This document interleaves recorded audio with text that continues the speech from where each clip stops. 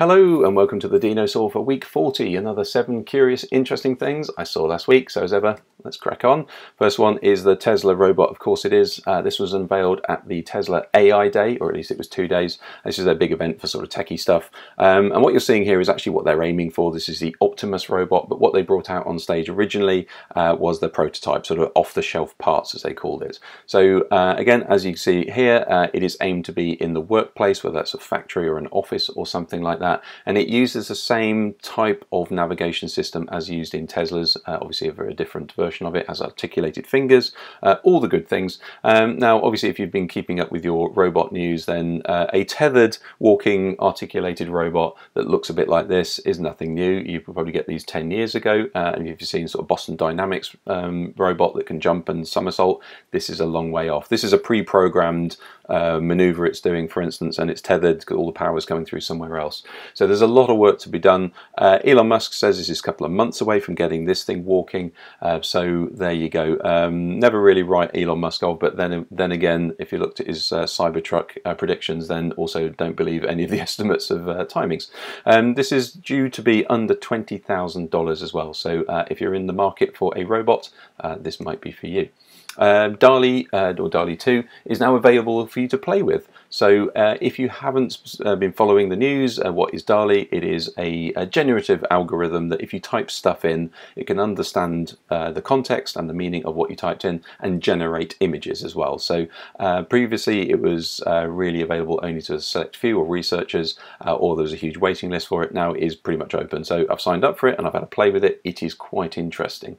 So what can you do with it? You can kind of do three main things. Is One is you can just type in stuff. So uh, a fight between 100 chicken-sized horses and one horse-sized chicken, and it will just generate new versions of that. Um, you can even be specific a photo of, and it will then change the, the basically the visual of that as well. You can also ask it to do variations. You can upload something. I uploaded the logo to the Dinosaw, and you can, as you can see, it generated some quite cool variations. Who knows, if you're a logo designer, those might be useful. Um, and likewise, what you can then do is background fill as well. So you can upload an image that maybe has a, a, a cut-off background, and it will try and figure out how to uh, rewrite the background that seems seems plausible. So you can do that right now. If you sign up, uh, it is free to sign up. Obviously, you do have to give your details to OpenAI, which maybe maybe uh, you might want to think about that. However, you get 50 credits, 50 goes at it straight away, and every month after that you get 15 credits to have another 15 goes as well. So um, definitely have a play. All I would say from this is it's really, really interesting how weird and inaccurate it is as well, and you have to get exactly the right prompt, and it takes maybe 10 goes to get anywhere near what you want, and even then it's not particularly brilliant either. So um, yeah, obviously this is going somewhere DALL-E 2 versus DALL-E 1. Um, there's lots of stuff going on, but um, definitely have a play it's very interesting. Uh, this is awesome. So NASA crashed a probe into an asteroid. So this is the DART um, probe. So this is the uh, Double Asteroid Redirection Test, which I think is a great acronym, DART.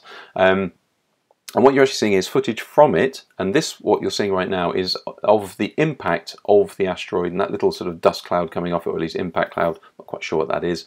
Um, so all of this is awesome. Why are they doing it? Well, they're doing it just in case there's a, um, a life-threatening uh, asteroid hurtling towards Earth. We now know we can launch a, a probe and it can hit it.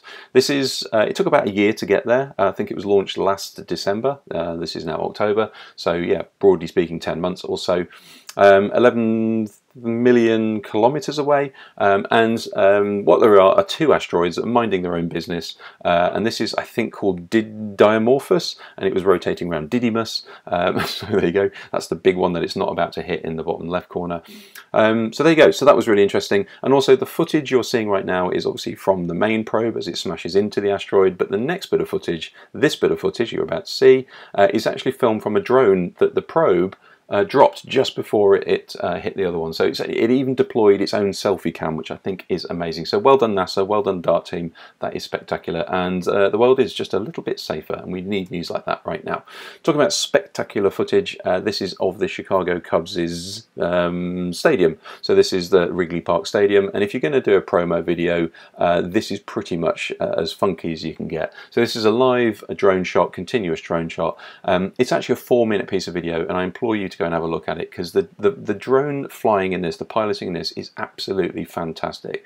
This is not even the best part of it. It goes through uh, the scoreboard, it goes through the visitor center, it flies down the corridors, it goes into the, you know, it is just amazing.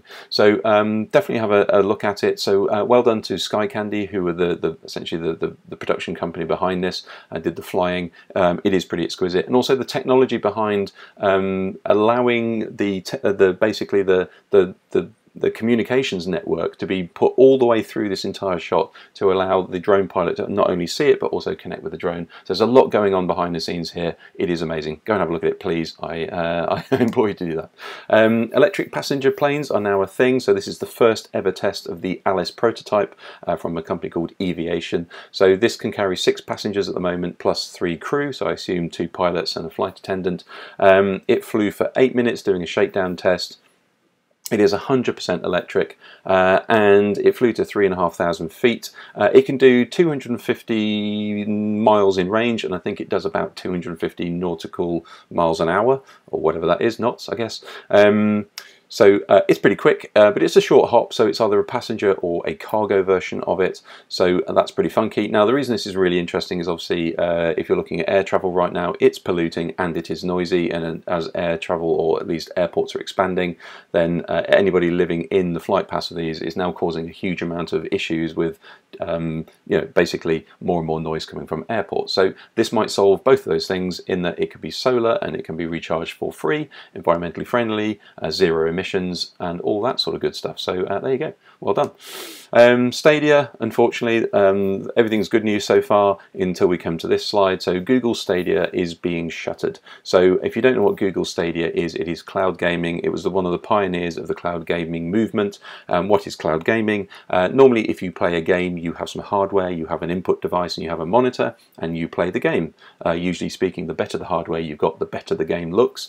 Um, however, cloud gaming does away with that, and what it does is uh, does all the rendering in the cloud, and all you watch is a video back. So you have a controller, you do up, down, down, left or right, and as long as you can send those commands to the server, the server renders the amazing game and just sends you the video back. Now it can do that so quickly that you can actually feel like you're playing the real game even though you're doing it all through the cloud with no hardware particularly on your end. Um, now, why did it fail? Why are they shuttering it? Well, basically, it just the, the, it was just really complicated. Their their financial model. Uh, you had to uh, basically sign up. You had to then uh, have a monthly subscription. You had to buy the game for full as well. And not many developers wanted to actually put the, the time in to do this. Now, um, uh, Amazon and Microsoft already have a version of this, and they are keeping theirs going. It's much their their version is much easier.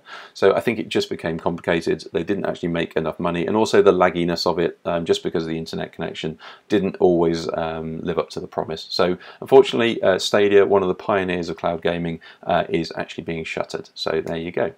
Um, and finally, uh, some other good news. Um, a corporate person, a corporate company, has made a decent TikTok. so I thought it was worth actually uh, actually uh, featuring. Uh, it's usually just Oreos really that does this. Um, however, Tesco's have done a TikTok, so I hope they follow through on this.